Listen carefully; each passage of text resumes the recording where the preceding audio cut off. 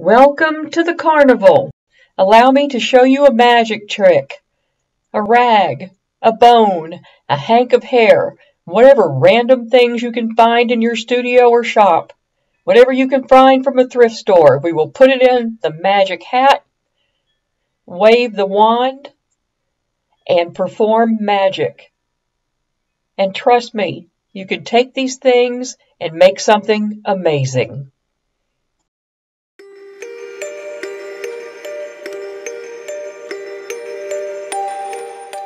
Your imagination and what you have on hand or what you can find are truly the only limits as to what you can make.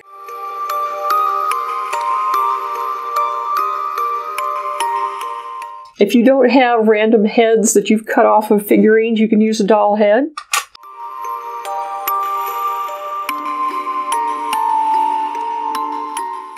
If you have one like this that has hair, the first thing to do is cut off all the hair. The second thing is to take the head off the body.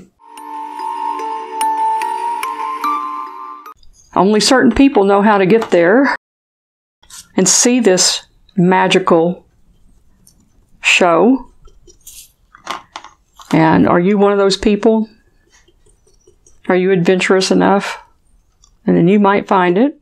You might see it. So keep your eyes wide open and come with me, and I will teach you how to perform magic.